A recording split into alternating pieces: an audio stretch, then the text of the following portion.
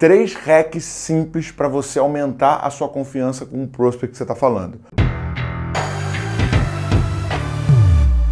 Antes de mais nada, você que já acompanha o conteúdo sabe que eu sou o Thiago Reis, que aqui na Growth Machine nós ajudamos empresas normais a escalar suas vendas usando técnica, usando método, usando ciência. Você que está novo por aqui, que não sabe muito bem o que a gente faz, Cara, já clica aqui embaixo, se inscreve no canal, marca no sininho para ser notificado. Toda semana eu trago um vídeo novo explicando o que, que você precisa fazer para ter mais resultado se esforçando menos. Eu acredito que o mundo é feito para os preguiçosos. Se você não usar estratégias não convencionais para ter resultado diferente, você vai ter que se matar para vender a mesma coisa que todo mundo e esse não é o meu caminho. Se esse é o teu, beleza, tu tá no canal errado, irmão.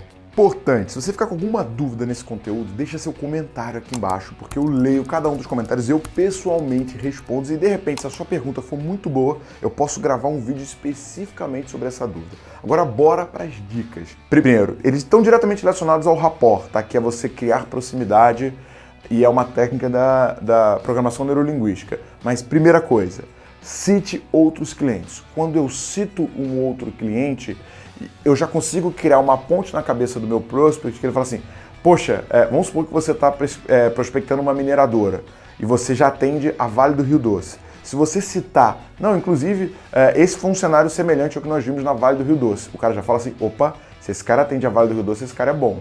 Ah, você, vai, você tá ligando para uma empresa de tecnologia. Aí você fala assim: inclusive, esse é um cenário semelhante ao que nós vimos na SAP.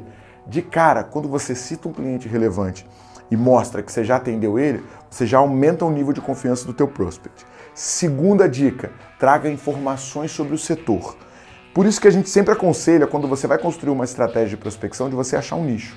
Porque o, é difícil você entender o que acontece no varejo, na indústria, no comércio, na prestação de serviço, na tecnologia. Quando você se concentra em um nicho, você fica mais informado sobre ele e você consegue construir autoridade mais rápido. Então, imagina que você está prospectando uma empresa de tecnologia.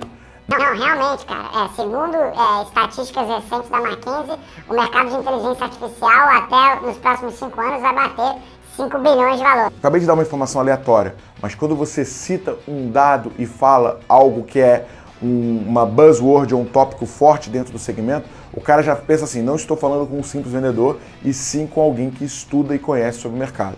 Cara, e por último, estatística.